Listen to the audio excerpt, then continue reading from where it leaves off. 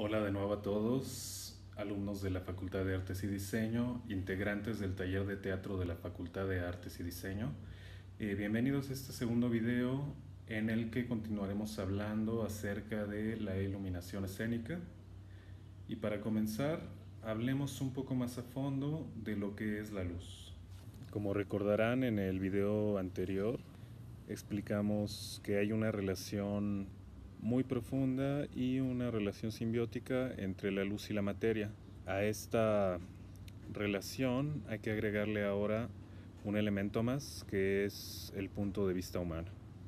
Y vamos a entender el punto de vista de dos maneras. La primera, refiriéndonos específicamente al sistema óptico, su funcionamiento y la posición en la que nos encontramos los que estamos observando respecto a la posición del objeto que está siendo iluminado con la luz desde una dirección específica. Entonces ya tenemos tres elementos, luz, materia y punto de vista humano. Comencemos por explicar a grandes rasgos lo que es la luz. Es un tema muy complejo y si a alguien le interesa profundizar en este tema, les recomiendo un libro de la doctora Ana María Seto, que es doctora en óptica en la UNAM, y el libro se llama La Luz. ¿Qué es la luz? Como muchos de ustedes sabrán, existe una energía electromagnética que fluye por todo el universo, incluido nuestro planeta, y esa energía electromagnética viaja en forma de onda. Cada una de esas ondas tiene diferentes dimensiones, desde la macroescala hasta la escala microscópica. La energía electromagnética ha sido descubierta, estudiada y utilizada por los seres humanos para muchos tipos de objetivos.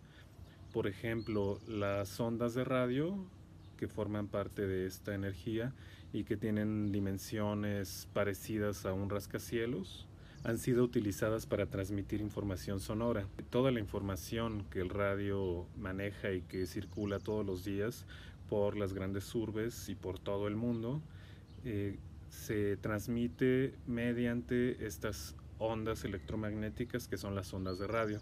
Otro tipo de ondas que forman parte del espectro electromagnético son las microondas que tienen diferentes tamaños, están entre una escala humana y la escala de una mariposa, por ejemplo. Otro tipo de ondas que forman parte del espectro electromagnético son lo que conocemos como eh, luz infrarroja que no es visible a los ojos humanos.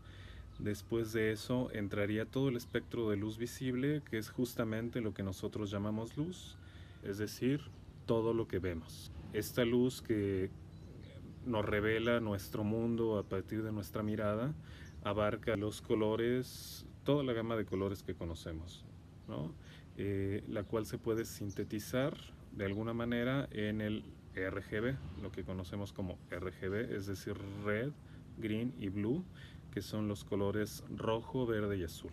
Los tipos de onda que se encuentran entre estos colores constituyen el resto de los colores, es decir, toda la gama posible de colores luz que conozcamos se encuentra en la luz natural.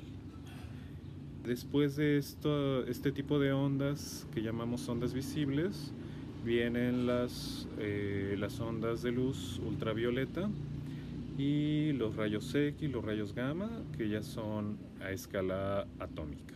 La combinación de todos los tipos de ondas de luz visible, es decir, de las que van desde el rojo hasta el azul y todos los colores de luz intermedios, cuando se mezclan de manera equivalente, nos regalan lo que llamamos luz blanca o luz de día. Es decir, si encontráramos la manera de fragmentar la luz blanca, lo que tendríamos justamente sería un arco iris. Porque cuando hay cierta cantidad de partículas de agua en la atmósfera, lo que hacen estas partículas de agua con la luz es separar las ondas luminosas y regresarlas a su forma original, que son todos estos colores. La mayor parte de la luz que, conocemos, que percibimos a lo largo de nuestros días, viene del Sol. Pero bueno, el sol no es la única fuente de luz. Expliquemos un poco acerca de lo que es el viaje de la luz. La luz emerge de cualquier cuerpo que se encuentre en un estado de combustión, ignición o incandescencia. Es decir, la luz es producida por la materia.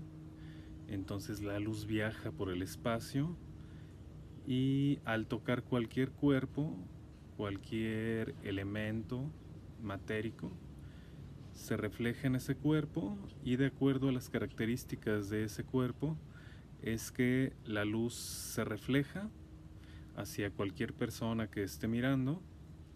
Nuestros ojos perciben esa luz y qué es lo que sucede en nuestros ojos. Nuestro aparato óptico cuenta con dos tipos de células receptoras. Uno de esos tipos de células las llamamos conos y al otro tipo de células los llamamos bastones. Las células receptoras que llamamos conos se dividen en tres tipos diferentes. Son las células que perciben el color rojo, las que perciben el color verde y las que perciben el color azul. Esto se explica de esta manera para sintetizarlo porque en realidad no hay eh, un color rojo puro, un color azul puro, un color verde puro, ¿vale? Más bien, cada una de estas células abarca cierta gama de, del rojo hacia el verde y del verde hacia el azul y del azul hacia el violeta. Entonces, cada uno de estos tipos de células RGB captan los diferentes tipos de ondas RGB y hacen la mezcla para que podamos percibir toda la amplia gama de colores.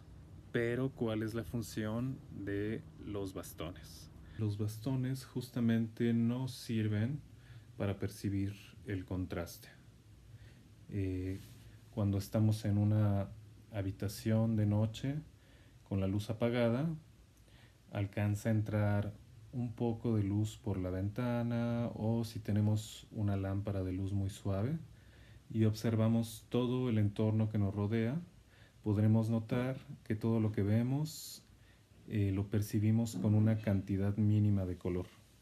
En ausencia de los conos, eh, la gama de colores que percibimos es realmente muy limitada, eh, ya que los bastones nos ayudan a percibir la forma y el contraste, contraste entre luz y sombra, lo cual obviamente nos permite detectar la forma y no tropezar cuando tenemos una luz muy baja, por ejemplo, en nuestra habitación.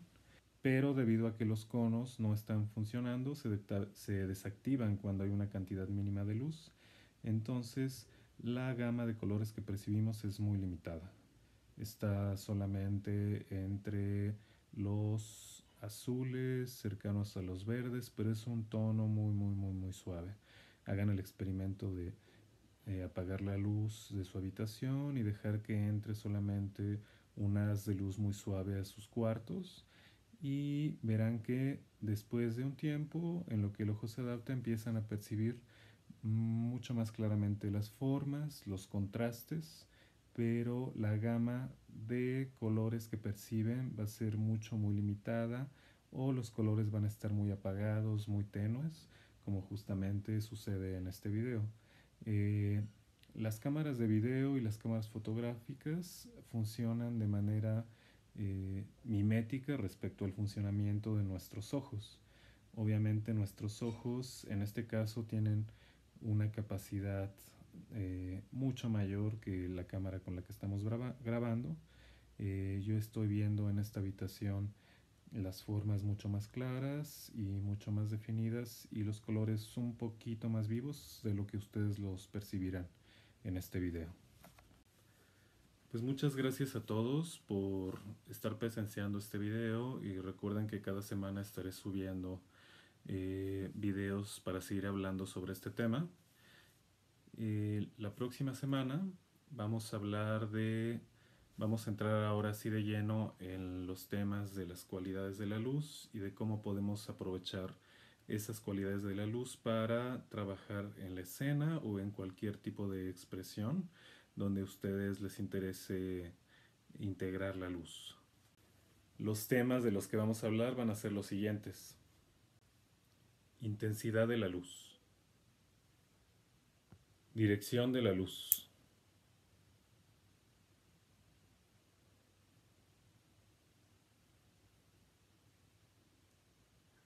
Y color de la luz.